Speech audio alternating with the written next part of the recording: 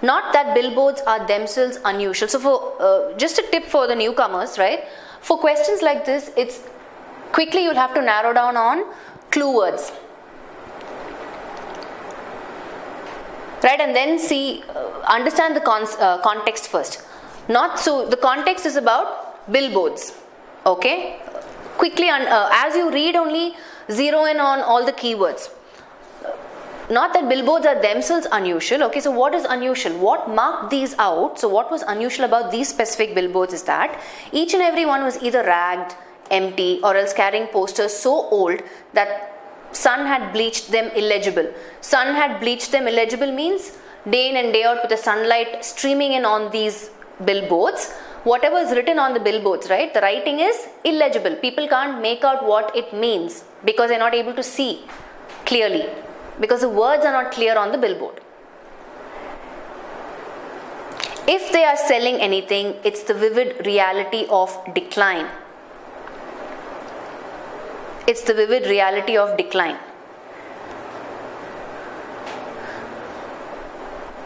So we need to figure out what is who is representing this day, right? If they're selling anything, it's a vivid reality of decline, meaning imagine right you're new to a place right? And all the billboards that are advertising whatever is available in that place you can't read it properly because the words are not clear. Right? So in that context roja is because of the collocation. So let's look at our options and see which will be the right fit. So i need to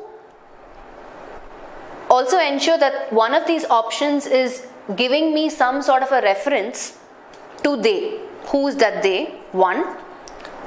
Two is I need to also look at the context which is talking about this place and they've already given me an example of this place that something is really not right in this place right and it reflects very poorly about this place imagine you go to a new place you go to a new city and they haven't even bothered to change, make any changes to their billboards, which is obviously where people will see what is written, what to buy, and go about it, right?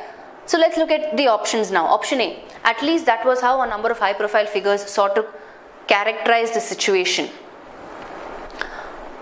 Sought to characterize the situation. Sought to characterize the situation. Characterize, we are talking about billboards here, right? Not the right option, option A. Eliminate. B. Whether a direct symptoms of Greece's problems or not, they serve as an eerie reminder of the country's economic plight.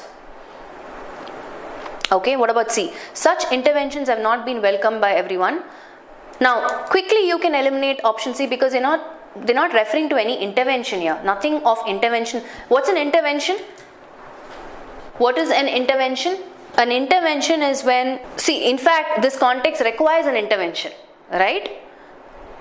Somebody has to do something about this situation here. Influence the vote.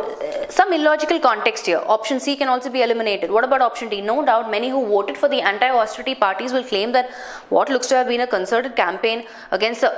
It's completely talking about something entirely different and not addressing the situation given here. Out.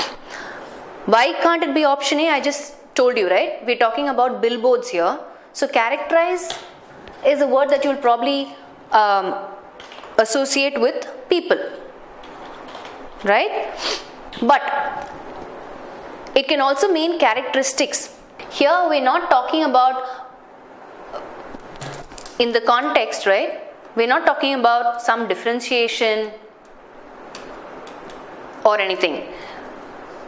Looking at this pitiable state in this place where they haven't even taken any uh, measures to correct this pitiable situation where all their billboards are no longer legible.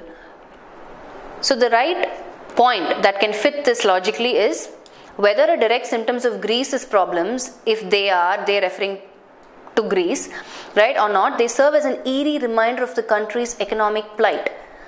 Eerie, couple of words we already selected ragged, empty, posters so old that sun had bleached them illegible right? So eerie reminder is eerie. This word fits perfectly with all the other adjectives which are which have described the billboards of the country's economic plight. which means are they like so sad that they don't even have money to change their billboards or do something about the pitiable condition of the billboards okay so sagar i am just looking at this context right and i'm talking about so if you look at if you look at the context right i just gave you an example if sagar was to travel to where are you from? I don't know. Let's assume you're from delhi okay? And uh, you move to another place another new city. You go there. You obviously want to let's say you went your sole purpose was to shop there okay? And you go there and then you go ahead and see that nothing that you see on the billboards is clear and visible right? You don't know what it says where to go how to go about it and the entire place imagine if all of okay sagar is from delhi wow what a coincidence so if all the in that entire place if all the billboards are looking like you know old and worn out. So you are uh, obviously beginning to wonder, you know, what's wrong with this city? Why can't they at least make changes to how the billboards look? Right? If, so what we're trying to say here is looking at the context, the closest one that makes logical sense has to be B. Because it, it reflects on the country's economy. Economy